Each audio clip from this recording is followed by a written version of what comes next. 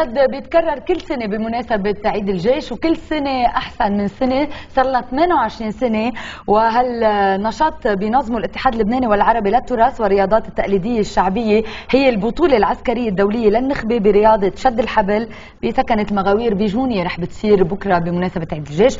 وضيفنا لليوم مارون خليل رئيس الاتحاد. أهلا وسهلا فيك يسعد صباحك وصباح من 28 سنة لليوم بتحتفلوا بعيد الجيش بطريقتكم الخاصة بحسب الاتحاد يعني. صحيح. واللي كنا عم نشوفهم هن طبعا عناصر من الجيش قوى الأمن الداخلي والجيش اللبناني والقوى المسلحة. آه كل صحيح كل القوى المسلحة. البطوله رح تصير برومي. ثكنة المغاوير برومية, برومية. ثكنة الشرف والتضحية والوفاء.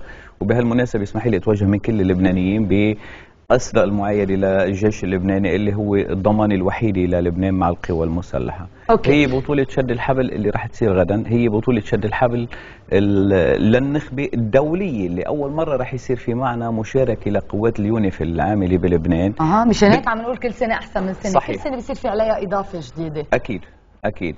okay. ونحن بنكبر بس نشتغل مع القوى المسلحة لأنه هذه البطولات مثل ما شفتي هلأ بالساحة يعني ساحه خالية من الجمهور يعني فيك تقولي للعسكر اللي هو منضبط ونحن من خلفية عسكرية فيك تقول إذا بتريدوا كل العالم على المدرجات خلص طلعت كل العالم على المدرجات اشتغلنا شغل كثير حلو بينما بتضيع بصير في شوي إذا بدك آه، بس بضل حلوة شوي بتضيع على مستوى الضيعه بس هيدا على مستوى دولة يعني صحيح. لازم يكون منظم بهيدي الطريقة. طيب كيف رح يتأثر؟ يلي بيشتركوا؟ العناصر اللي رح يشتركوا بكرة هن أبطال من قوى الأمن العسكرية كلهم يعني أبطال الجيش اللبناني قوى أمن داخلي أمن عام أمن دولي جمارك بالإضافة لليونيفيل القوات العاملة بلبنان اللي هلأ موجودين السنة معنا لأول مرة. كيف رح بتقسموهم؟ يعني بما إنه هالقد كتار كيف بصير يعني الجيش اللبناني لحال تنقول بوجه قوى الأمن. كيف كيف رح نحن عندنا بال... بالاتحاد عندنا قوانين وأعراف. يعني مم. أكيد ما فينا نشتغل شيء إلا بالقانون. حسب القانون عندنا ثمان فئات للأوزان. الجيش اللبناني مثلا آه، تحية له عامل ثمان فئات. قوى الأمن الداخلي آه. عامل ثمان فئات. الأمن العام عنده فئات. اليونيفيل عنده فئات. هدول الفئات بيتباروا مع بعضهم وبكل فئة بيطلع أول ثاني ثالث وحكما بالنهاية بده يطلع أول ثاني ثالث على صعيد المجموعة. وبالقرعة كيف يعني تختاروا المواجهة تنقول بين مين ومين؟ إذا كان في عندنا أكثر من ثلاث فرق بكل مثلاً. فئة بتروح على القرعه okay. بس نحن عندنا ثمان فئات بثلاث فئات بثلاث آه، يعني محسوب حالهم already المفروض بس إذا في عندنا فئات أكثر من ثلاثة بنروح بالقرعه okay. okay. عم نحكي بس عن مباراة بشد الحبال بكرة. صحيح بكرة المباراة هي بثكنة رومي عند العميد آه، مارون القبياتي اللي بنوجه له تحية كثير كبيرة لأنه عن جد قياده الجيش والعميد قائد الجيش جوزيف عون يعني والمغاوير عاملين لنا مساحة كثير كبيرة من النشاط بالإضافة لكل القوى الأمنية. يعني صار بيتنا الثاني مثل ما هي التلفزيونات اللي عم تعطينا هال push هالدعم. okay يعني بكرة بتطلع النتيجة هو نهار صح واحد. صح. صح بكرة يعني بتطلع بكرة النتيجه بكره مين الأبطال. أكيد لأنه حكامنا كلهم موجودين لحتى يرتبوا هذه النتيجة. الحكام القوى المسلحة النتيجه دغري بتطلع تباعا بكرة. نحن الصبح الساعة 10 بيكون عندنا الميزان لانتهاء الميزان 10 ونص. بعد منه بنص ساعة بتبلش المباراة. الساعة 5 النهائيات واللي وإعلان النتيجة. بيكون في round تنقول مثلا بلشت المباراة هلأ هل هالفئه ضد هالفئه صحيح. دغري الفئة اللي تنقول بتقطع ما بعرف أنتم كيف القانون عندكم الزيح معين أو شيء هي اللي بتربح أو بيكون في كذا round في عندنا في عندنا ثلاث ثلاث جولات يعني بيربح اثنين من الثلاثه المتباري. آه، وإذا كان في فئات أكيد يعني إذا كان في أكثر من فئة بالوزن بدها تروح لحتى يخلصوا بعضهم لحتى يوصل لمرحلة أول ثاني ثالث بالوزن. بلس بيرجعوا بيروحوا على المجموعة العامة.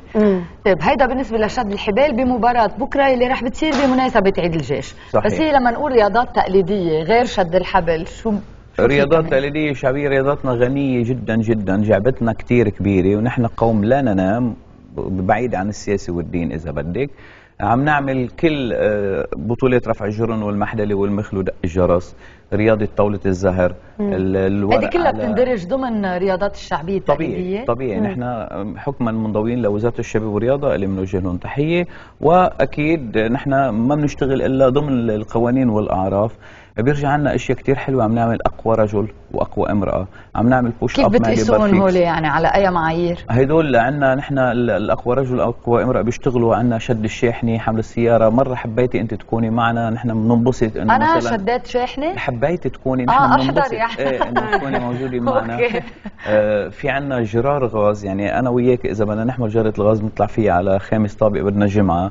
في عنا بنات بتزت جرة الغاز لعلوم معين أو شباب. أكيد آه، رح نشوفها بكرة ونعمل تقرير عنهم آه، هدول شغلات كتير لأنه في ناس أخصائيين عم بيهتموا بهالشغلات لحتى يوصلوا. طب كيف بيلاقوكم هن بيجوا لعندكم خاصة عم نحكي سيدات آه، نعم. مارون يعني. نعم نحن بتعرفي إنه نحن صرنا تكودرنا من الناقورة للنهر الكبير ونحن لنا فخر إنه اتحادنا يكون عنده ثلاث مقرات يعني عندنا مقر بالدكواني عندنا مقر ببريح الشوف وهلا عندنا مقر بشكة على البحر بالتعاون هلا مقر شكة. جديد. صحيح مم. نحن مقر شكة جديد وهذا المقر نحن شو عم نعمل؟ مع القوى المسلحة عم نكون عندنا نحن بنات وشباب عم بيكونوا موجودين من القوى المسلحة هن عم بيدربوا لنا هالناشطين بكل المناطق مجانا لحتى نوصل لمرحلة نحن وياهم إنه هالرياضات التقليدية الشعبية تنتشر ب يعني بيكونوا عم بيتمرنوا بمعايير أكيد تما ياذوا حالهم وكله بجو صحيح. أوكي هون اللي عم نشوفهم. هون عم نشوف مروم خليل وقع. سلامتك هيدي أنا إيه. عم بشترك بالبطولة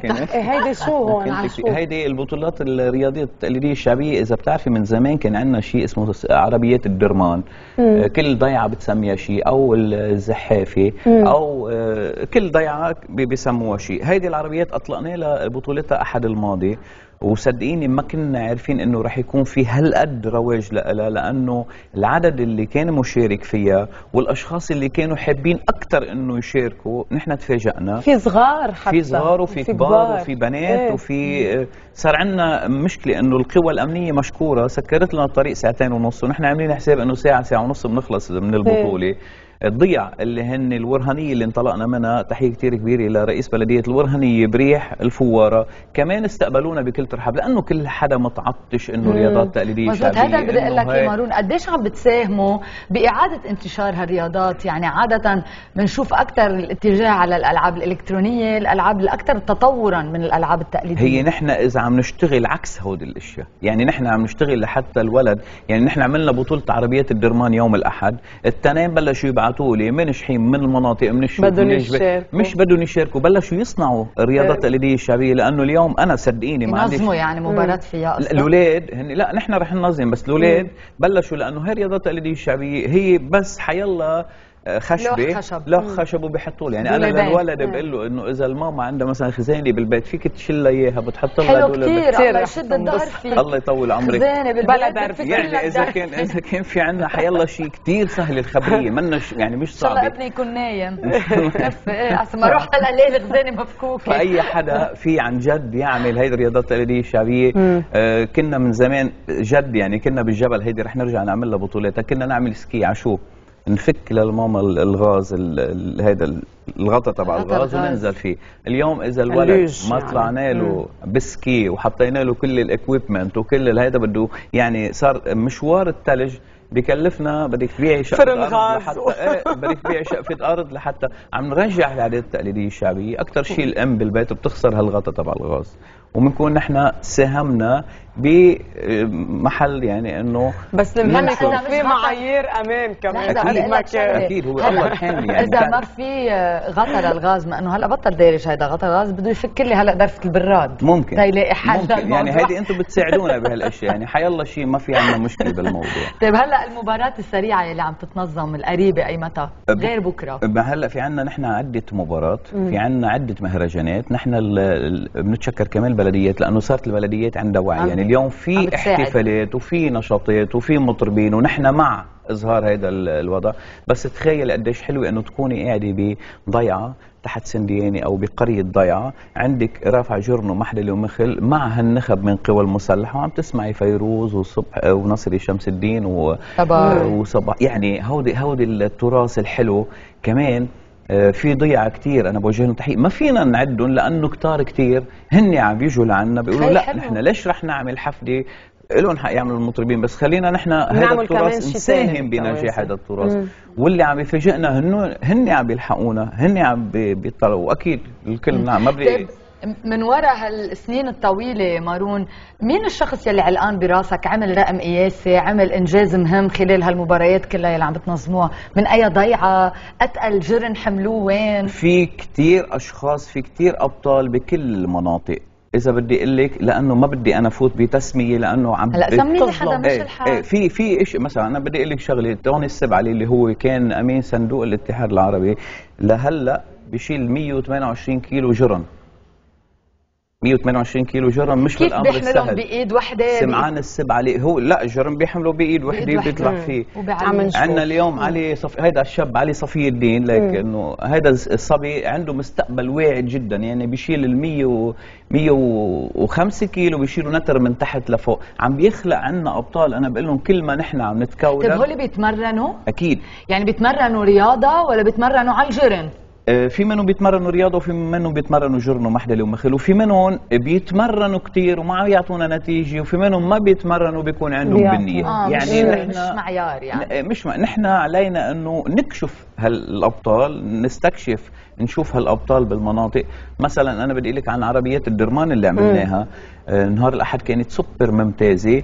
الكل عملنا آه 11 دقيقة. أحد الأبطال من بريح عملها بخمس دقائق و30 ثانية. ما كنت بتتخيلي وأول مرة يعني أنا جايب العربية مش إنه مرن عليها. آه، ونحن كنا أو عم نعمل تمارين. أو, إيه إيه أو معدلة أو شيء. كنا عم نشتغل أعطينا إياها نزل بس ما كنا نتخيل. يعني وصلنا لمرحلة إنه يا عذرا إنه فات بالسيارات رح يقتل حاله ورح يقتلنا يعني شغلة مش مش معقوله يعني إيه ما في عليها control يعني ما في عليها مش قادر تعمل بس نحن آه، شوي هن لأنه هيدي أول انطلاقة. شوي آه، لعبوا على أعصابنا. إنه please بلا حامي راس بلا أنا عم بحكي هالشيء بس الصليب الأحمر بيكون موجود, موجود معكم. موجود. بس الكيات اللي بتصير يعني أنا صدقيني بتوجه لبلدية الفوارة بكل مم. احترام بس حسيت إنه ظهور تبعهم مش طيبين لأنه أنا فت بالحيط عندهم شيء ظهور فاتوا بكلمة طعمتهم ابدا ما يعني يشتغلوا شوي على الظهور إيه إيه في حال حدا فات فيهم صحيح تكون طعمتهم طيب. طيب نحن هذا النشاط يلي عم بتخبرنا عنه غطيناه ومثل ما قلت لي إنه التقرير أخذ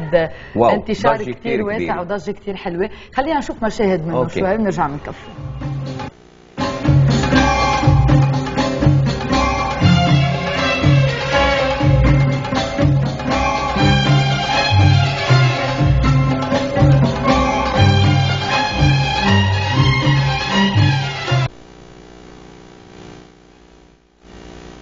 هون تحضير يمكن إيه أكيد هذه قبل انطلاق البطوله بس برأس آه، الورهانية أول ضيعة الورهانية انطلاقا لبريح المطيلي الفوار. شوفي هون البنت عم تعمل مريم خليل اللي طلعت بالمركز الأول كمان آه، نوجه لها تحية كثير كبيرة. مين حضر السيارات؟ أنتم حضرتوهم وأعطيتوهم للمشتركين ولا كل واحد محضر أه، سيارته؟ نحن كاتحاد عملنا على تحضير أكثر من 12 سيارة. المشتركين حضروا سياراتهم بس يعني أنا كانت هي الانطلاقة كان عندي شرط وحيد وهو هلأ لأنه هلأ قريبا بدي أعملها لأنه لبنان من أقصى إلى أقصى عم بدق لي يوميا كرمال هالنوع من كرمال هيدا النوع. لأنه سيدتي هيدا بيقول لي بدق لي بيقول لي على التليفون. راسي من هون كيف بدي أشوف راسك عم تحكينا أنت؟ مشطوب من عربيات الدرمان إيدي إيه. مكسورة من عربية. يعني في في من في 50 سنة. إيه لازم تكون معايير سلامة عالية بعتقد صح. نحن بس حطينا واللي هلأ عم بيسمعنا إنه آه، بطولتنا رح تصير قريبا جدا كمان نرجع نعملها لأنه أخذت رواج كثير كبير.